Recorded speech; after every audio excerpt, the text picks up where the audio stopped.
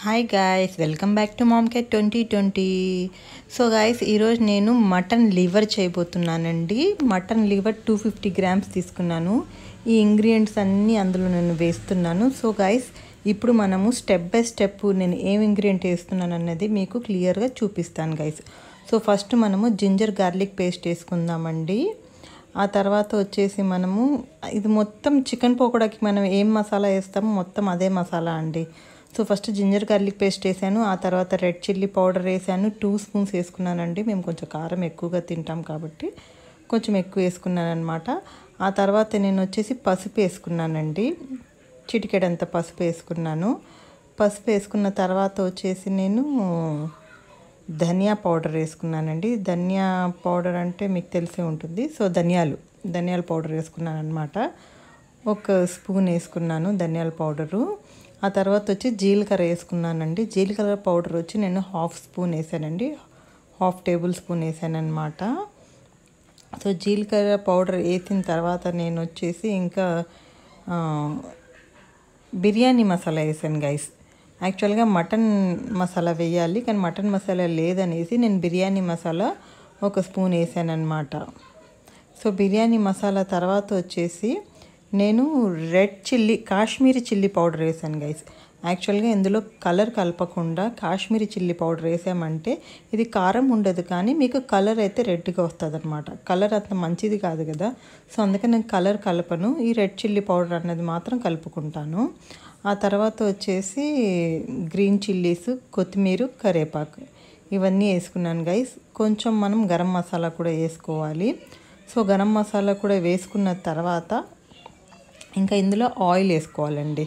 Three four spoons oil వేసుకోవాలి. Oil వేసుకున్న తర్వాత మనం పెప్పర్ వేసుకోవాలి.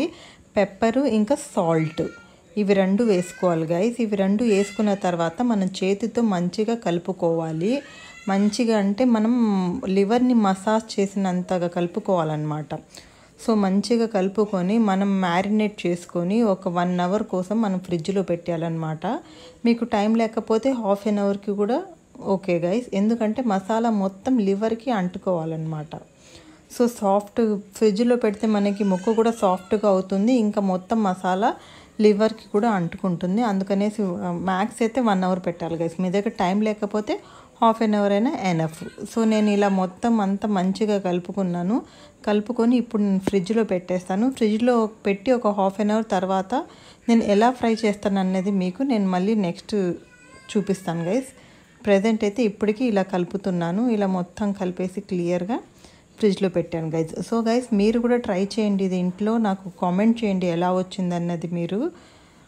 గ్రీన్ చిల్లీస్ ఇంకా రెడ్ చిల్లీస్ పౌడర్ ఇవన్నీ వేసినందుకు మంచి కారంగా అయితే వచ్చింది గైస్ ఆ తర్వాత మనం ప్యాన్ పెట్టుకున్నామండి. ప్యాన్లో నేను ఆయిల్ వేసుకున్నాను.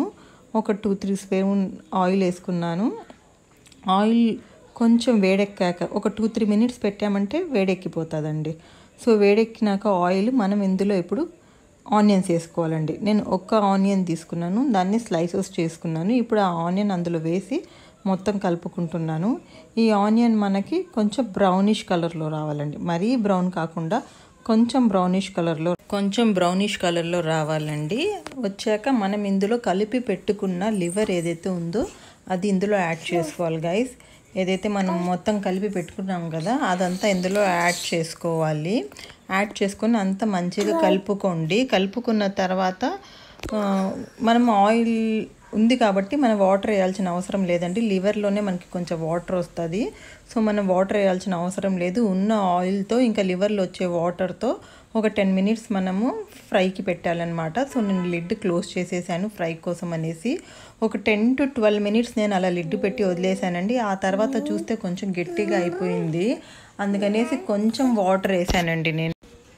సో కొంచెం వాటర్ వేసుకొని మొత్తం కలిపి ఇంకో ఫైవ్ మినిట్స్ అలా వదిలేద్దామని డిసైడ్ అయ్యానండి. ఎందుకంటే ముక్క చూశానమాట ఇంకా అది ఉడకలేదు ఇంకా బాయిల్ అవ్వలేదని నాకు అర్థమైంది. అందుకనేసి కొంచెం వాటర్ యాడ్ చేశాను. ఒక ఫైవ్ మినిట్స్ అయిన తర్వాత ఇలా వాటర్ అంతా ఇంకిపోయి ఇలా గట్టిగా అయిపోయింది గైస్. ముక్క కూడా నేను చూశాను బాగా బాయిల్ అయింది ముక్క కూడా. సో అంతా రెడీగా ఉందన్నమాట.